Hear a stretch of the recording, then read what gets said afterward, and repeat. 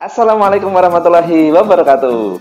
Hai sobat semua Kali ini kita akan membuat dompet dari bekas bungkus deterjen.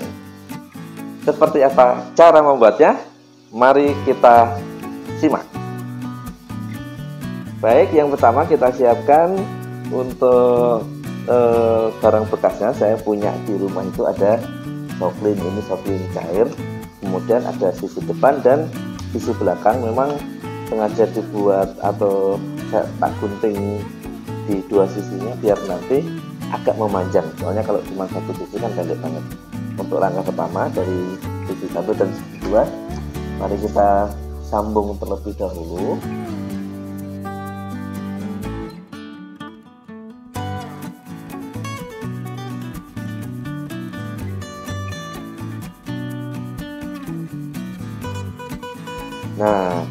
sudah seperti ini sudah memanjang nanti kan akan kita lipat ikan kita lipat seperti ini. Ah, selanjutnya langsung saja kita lapisi dengan kain.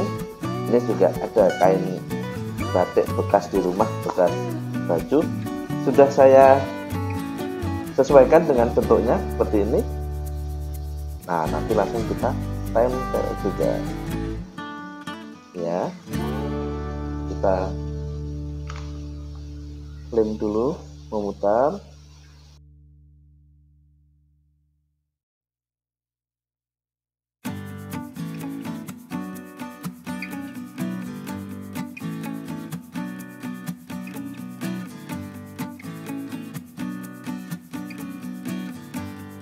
Untuk selanjutnya yang sisi-sisi ini kita lipat kita rapikan ke dalam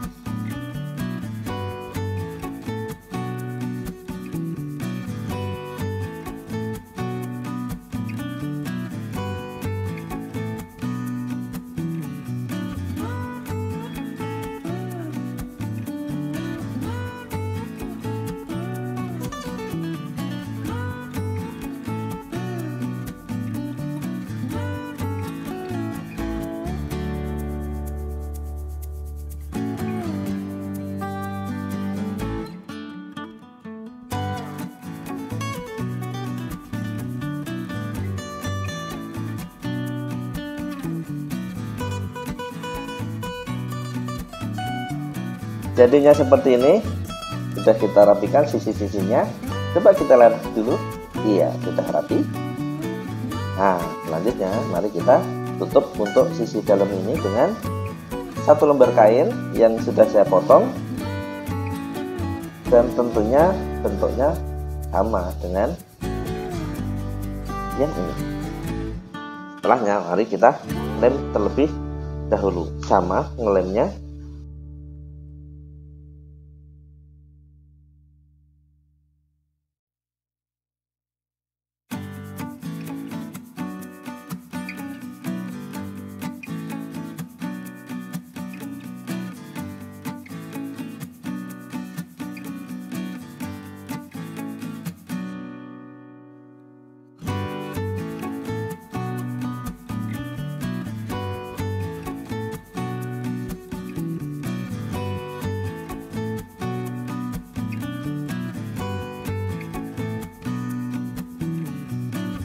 ini sudah kita beri lapisan dalam kemudian hasilnya seperti ini. Untuk selanjutnya kita buat kantongnya dengan melipat kemudian dilem di sisi kedua sisinya ini.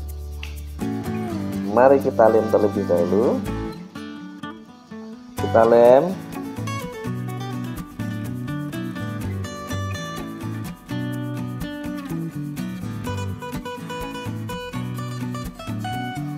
langsung saja. Kita dekatkan iya.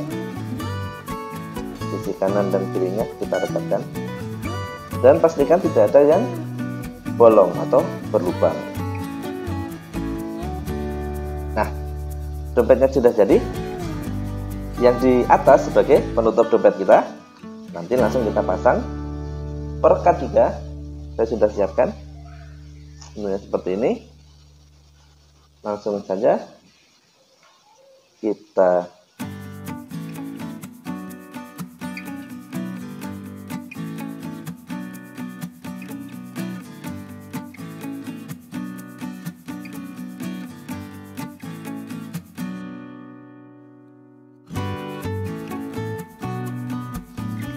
Ya. Coba kita rekatkan.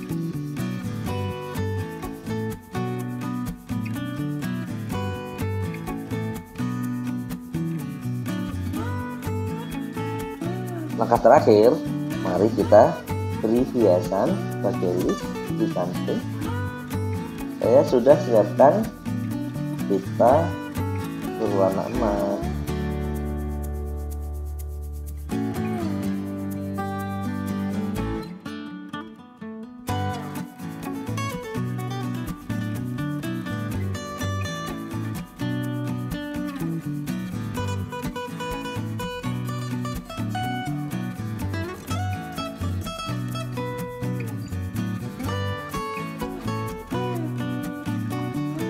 hiasan listnya sudah terpasang.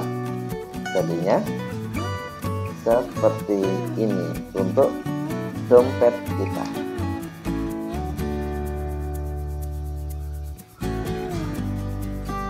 Demikian jangan lupa tetap dukung channel ini dengan like, komen, dan subscribe.